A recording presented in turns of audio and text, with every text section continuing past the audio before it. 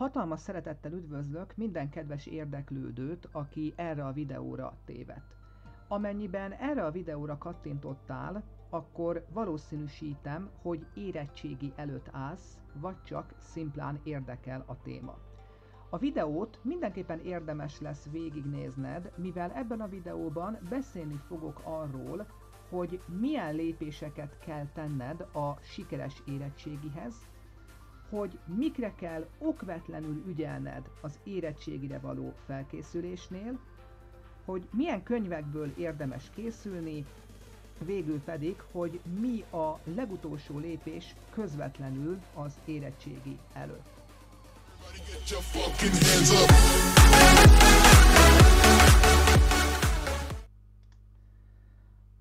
A legelső lépés, ami felmerül benned, ha a csatornámon végignézel, hogy láthatod, hogy az enyém az alapvetően egy gamer csatorna.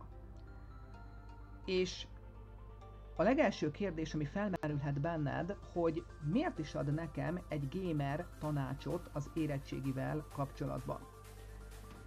Végzettségemet tekintve a Soproni Egyetem közgazdaságtudományi karán tanultam, majd ezt követően az ELTE Szavária Egyetemi Központjában szereztem angol szakos diplomát.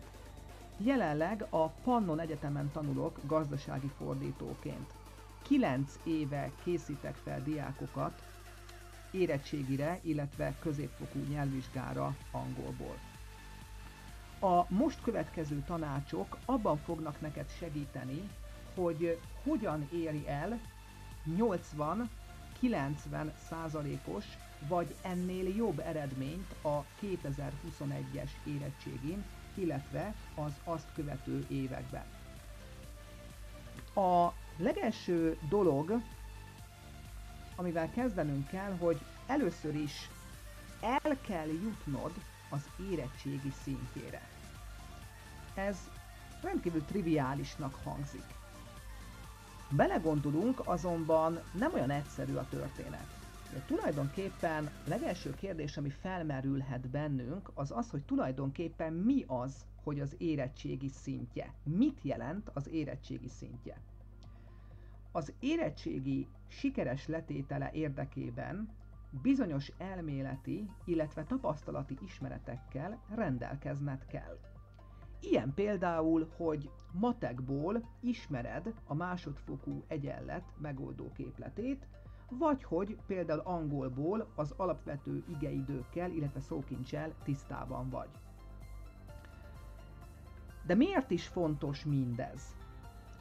Tudnod kell, hogy aki érettségén gyengén teljesít, az általában azért van, mert az illető diák nincs az érettségi által elvárt tudás birtokában. Tehát nem rendelkezik azokkal az elméleti, illetve tapasztalati ismeretekkel, melyek szükségesek ahhoz, hogy az érettségét sikeresen teljesítse. Ilyen például, hogy hogyha például valaki érettségiző létére matekból nem ismeri másodfokú egyenlet megoldó képletét, vagy például angolból nem tud összerakni egy, egy alapvető kérdő vagy kijelentő mondatot. Ha amennyiben ilyen alapvető dolgokat nem tanultál meg, vagy ezeket nem gyakoroltad eléggé, akkor ez gondot okozhat, és ez az érettségén mindig megbosszulja magát. Vagyis a gyenge érettségi eredmény oka kivétel nélkül mindig az, hogy az érettségiző nincs az érettségiben megkövetelt tudás szinten. Ha eddig tetszett a videó, akkor, akkor kérlek nyom rá egy lájkot, illetve iratkozz fel a csatornára. A következő dolog, hogy a négy év teljes anyagát ismerned kell az érettségi tárgyakból. Ez a pont valamennyire kapcsolódik az előző ponthoz. Itt fontos megegyezni, hogy amikor te érettségizel, akkor az érettségi mindig azt méri, hogy te a négy év alatt mennyit tanultál. És az egyébként egy tévhit, amit már ö, számos idősebb ismerősömtől szoktam hallani, hogy gyakorlatilag nem tanulok semmit három és fél évig, mert majd az utolsó fél évben mind meg fogom nyomni, és majd az utolsó fél évben minden sikerülni fog. Higgyétek el, ez egy tévedés. Ez nem egy működőképes stratégia, amennyiben 90%-ot szeretnél elérni. Nektek egyébként van ilyen ismerősötök, aki nem tanult semmit, és ennek ellenére 90%-os vagy annál jobb érettségi eredményt ért el? Mindent írjatok le a komment szekcióba. A következő pont, hogy fontos az, hogy mindig kiváló és naprakész, érettségire felkészítő könyvekből kell tanulnod. Az érettségi eredményed minimum 50%-a az attól függ, hogy te éppen milyen tankönyvből vagy tankönyvekből készülsz az érettségire.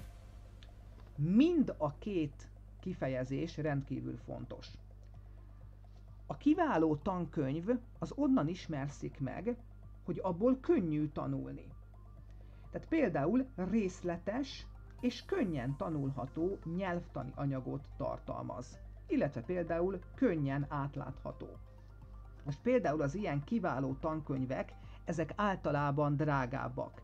Tehát ez tehát, tehát nem biztos, hogy az a legjobb stratégia, ha az ember mondjuk két-három ezer forintos könyvekből próbál egy ilyen nagymérvű és ilyen jelentőség teljes vizsgára felkészülni. Tehát én személy szerint azt gondolom, hogy itt lehetséges, hogy megéri megvenni a drágább, a kipróbált, a márkásabb tankönyvet, mert az a, a jó tankönyv az jelentősen megkönnyíti az érettségire való felkészülésedet, és meg is gyorsítsa azt. Ilyen véleményem szerint kiváló tankönyv, ez az English File sorozat angolból. Ez a, ez a tankönyv sorozat szerintem az egyik legjobb.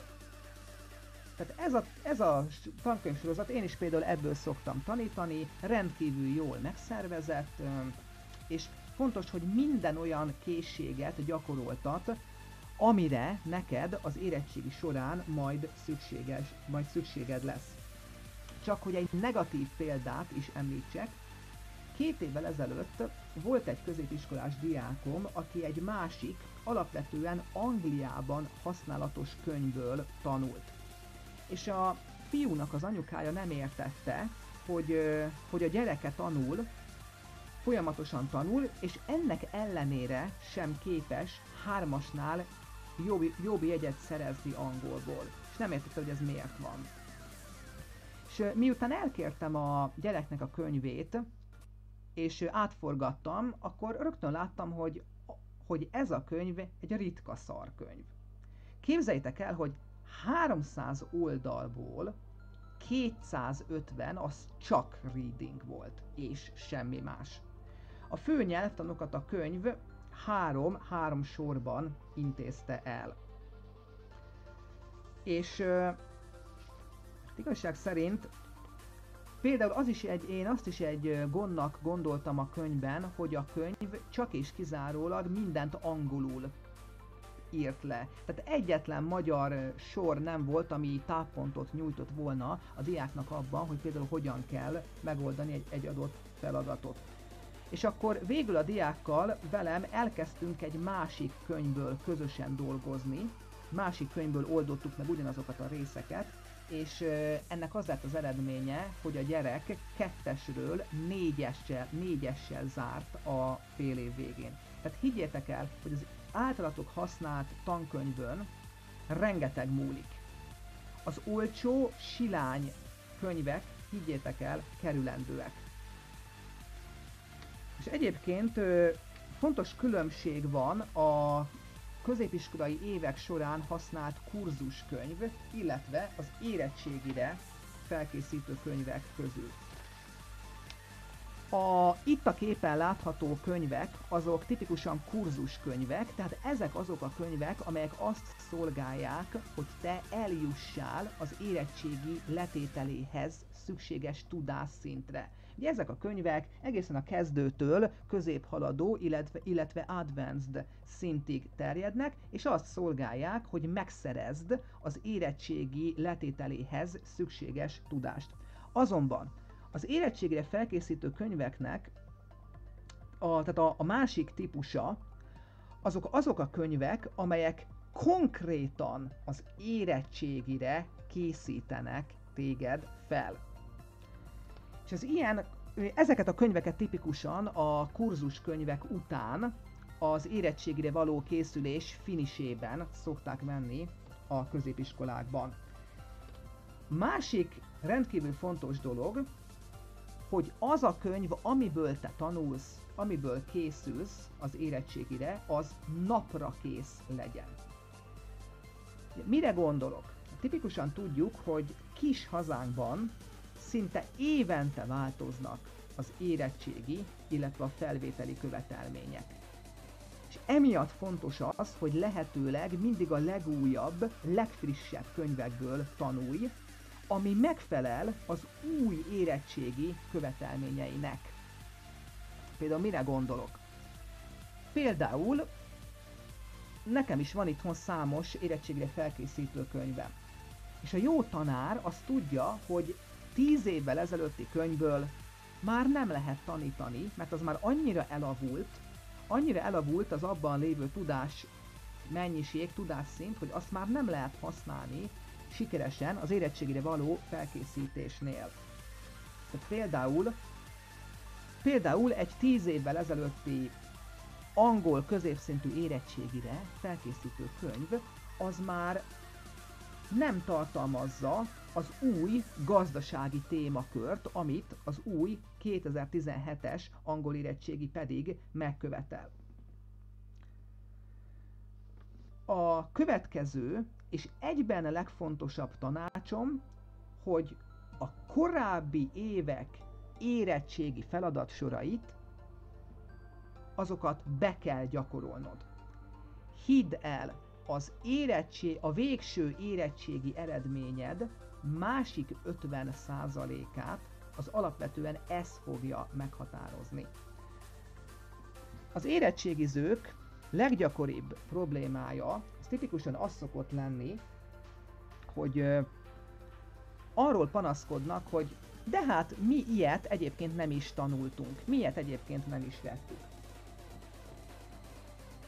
És az alapvető probléma, ami érettségén elő szokott jönni, hogy érettségén tipikusan máshogy, másmilyen formában kérik számon ugyanazt a tudást mint ahogy azt te a tanórákon megszoktad. Ennek a legtipikusabb példája egyébként a történelem érettségi, ben a források elemzése. És egyéb, e, egyébként van egy olyan honlap, amin, amin szerepelnek a korábbi évek érettségi vizsgái az összes. Tehát egyébként melegen ajánlom, hogy mielőtt az érettség, mielőtt a az érettségit ére, élesben letennéd, mindenképp előtte érdemes végigböngészni, kinyomt erről a webhelyről, az oktatás.hu-ról kinyomtatni, és, és, teljesen kitöl, és teljesen kitölteni a korábbi évek érettségi feladatsorait. Ez azért fontos, mert ezáltal szerzel rutint, úgymond az érettségiben. Tehát rendkívül fontos, hogy még mielőtt elmész élesben érettségizni, előtte rutint szerez a, az érettségiben. Tehát például a, az itt látható történelem érettségi esetében neked tudni kell azt, hogy például a történelem érettségén tipikusan forrás elemzést is szoktak kérni. Tehát gyakorlatilag a, ez azt jelenti, hogy a történelm érettségén például nem azt fogják tőled megkérdezni, hogy mikor volt a kiegyezés, hanem ahogy a képen is látható, kapsz érettségén két-három forrást, amiből, hogyha tanultál a négy év alatt, akkor például rá kell gyere, hogy itt például az 1867-es kiegyezésről van szó. És hidd el, a történelmi érettségi esetében ezen buknak a legtöbbet. Hogy hogy egyszerűen zavarba jönnek attól, hogy másmilyen módon, máshogy kérik számon ugyanazt az információt. És emiatt nagyon fontos az, hogy a korábbi érettségiket begyakorold. Hogy rutint szerez az érettségizésben. Ez emiatt nagyon fontos. Végül én szeretnék sok sikert kívánni az érettségithez. Amennyiben tetszett ez a videó, és szeretnél má- több, több másmilyen, másmilyen, az érettséghez másmilyen módon kapcsolódó videókat látni tőlem, akkor iratkozz fel a csatornára, lájkold, lájkold a videót, és nyugodtan írd meg kommentben, hogy miről szeretnél még hallani a 2021-es érettségivel kapcsolatban. Köszönöm szépen a figyelmet, és akkor találkozunk a következő videóban. Sziasztok!